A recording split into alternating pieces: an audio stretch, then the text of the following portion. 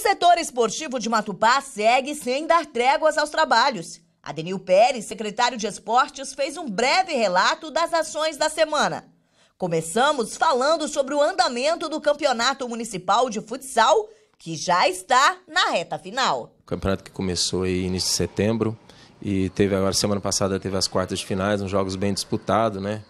E já saiu os classificados da, das semifinais para a semana que vem. Aí já deve estar funilando para o dia 13 de outubro a gente fazer a final. Apesar de ser um campeonato municipal, está tendo um nível muito grande, né? A maioria das equipes investiu muito alto, trouxe bastante jogadores a nível de estado, a nível de Centro-América. Então, assim, está dando um nível técnico bom, um futsal bonito de se ver, né? Então, fica o convite aí, o ginásio está de porta aberta para estar tá recebendo o público e prestigiando essas equipes. Adenil, que é também o treinador do handball, falou da atleta matupaense que está em São Bernardo do Campo disputando uma vaga na seleção brasileira de handebol infantil. Ela já está em São Paulo, aliás, já deve estar a caminho do, do centro de treinamento de São Bernardo, já foi a equipe lá já de transporte lá da, de treinamento já pegou ela, né? E eu acho que hoje, lá a partir das 5 horas da tarde, já deve iniciar os treinamentos. Ela permanece lá até o dia 10. Até o dia 10. É, vão ser mais de uma semana intensiva de treinos, né? São 69 meninas convocadas, não sei se foram todas, né? Mas assim, ela tem um.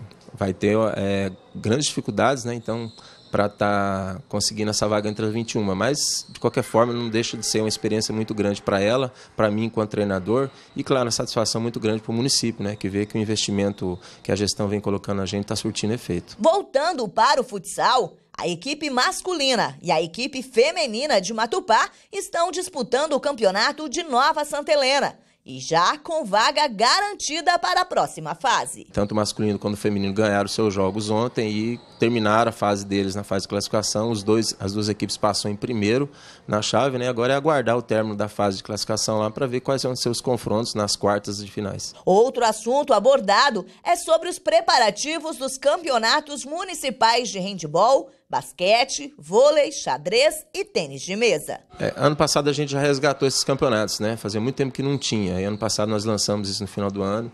Esse ano nós já mantemos, né? Vai ser a segunda edição, o basquete, o vôlei, o handebol. E esse ano a gente está incrementando o xadrez e o tênis de mesa também, na categoria adulta, né? Trazer aqueles velhos xadristas e tênis de mesa que que já jogou muito tempo no estudantil, né? Dá essa oportunidade também para eles terem esse lazer. É, já teve a primeira reunião, foi dia 26, e agora dia 16 já está marcado o Congresso Técnico, né? Para a gente fazer sorteio, confecção, confecção de tabela. Para o dia 21, que é a previsão para a gente estar tá dando início a esses campeonatos também. E para finalizar, Paralelo a todos os trabalhos, o Departamento de Esportes ainda auxilia nas demais ações do município. É, dia 9 agora a gente vai para a Gleba, né? Nós estamos no apoio para promoção social. Na parte da manhã a gente vai estar tá difundindo o esporte lá para a criançada no Dia das Crianças, lá na Gleba União. E no dia 12 vai ser aqui na zona urbana, né? A gente vai estar tá dando esse apoio também.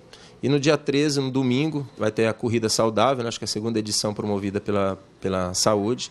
E a gente também vai dar um suporte técnico lá na corrida lá.